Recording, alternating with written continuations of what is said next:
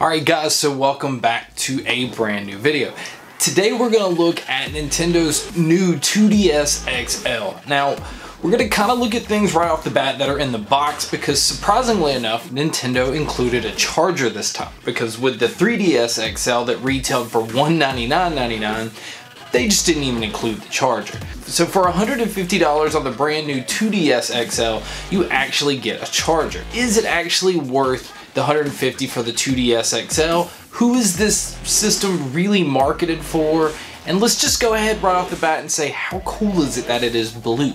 Um, as far as I know in the US, this is the only color um, that it is offered in. It's a black and blue. Um, the system, the first thing you notice when you pick it up, it is very, very lightweight. Um, it actually feels small to be an XL system, which XL obviously is talking about the screens, but coming from that ridiculously ugly 2DS design that they had before that didn't even fold, was small, had these tiny screens, it just didn't make sense. What we need to start with is who is this actually marketed for? There's a lot of restrictions against younger people using the 3D part of the 3DS. So this system allows you to be able to play all the 3DS games and 2DS games, but just in 2D. So that you don't have to worry about, you know, kids bumping it up in 3D and messing up their eyes or anything like that.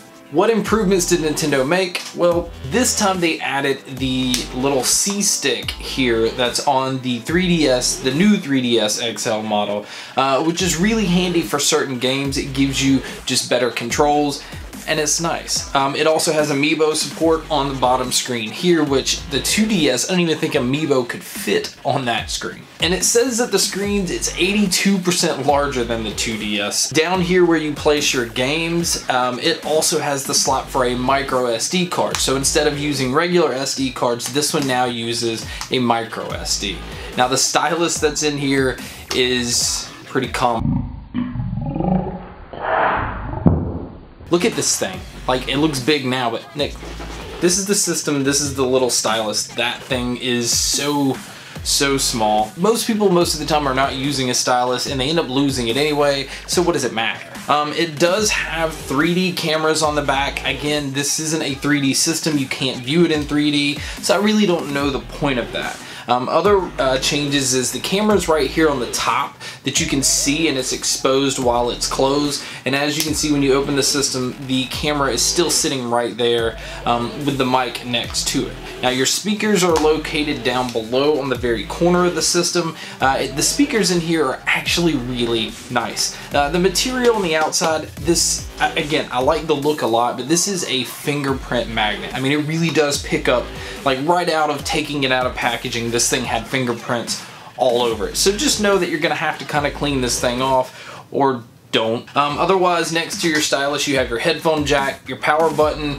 and your light, your Wi-Fi indicator, uh, and your power indicator. All that stuff's right here at the bottom. Now let's go ahead and talk about the inside. It is very, very, very clean. Like everything about this is clean. And to be honest, like really, if you want to look at it, this looks like an iPhone just turned sideways. There's no speakers up here. Um, it's just really a clean design. And honestly, I'll say right now, this is my favorite design that Nintendo has done on any of the DS systems. Like, I like the cleanness. Obviously, I like the color. I like that it's lightweight. Just everything about this system, I have no complaints at all. Other than the fingerprints. Like, I, I just like my devices to look clean and to know that this thing's gonna have fingerprints all the time eh, it might be something that bugs me a little bit. Now the processor that's in here is a lot faster. I did notice that things loaded a lot quicker, games loaded quickly, apps loaded quickly. Um, so it's just a very nice, smooth experience. So now the big question is, should you buy it for 150? Well, think about it this way. If you don't have a DS and you've never had any of any of the systems, the DDS systems, I like it a lot. Some people the 3D just kind of wears off and it may not be worth the extra $50. And the other thing that just kind of I don't get, and maybe maybe it's just not meant for me to get, but Nintendo is just rehashing basically as many versions of the DS as they can when I really think it may just be time to move on from the DS altogether. Now I know there's a bunch of games, but guess what? There's a bunch of systems already to play this on. With the Nintendo Switch taking off the way it is, I think their focus needs to be there. And with the, I don't know if it's a rumor or if it's actually fact now, they're going to be coming out with a Nintendo Switch Mini. It doesn't come with a dock, and it's really made to just be played portably all the time maybe that's where they need to just focus on and not keep putting out DS systems. But again, every time they do, people buy them, people love them, and who am I to say what Nintendo needs to do?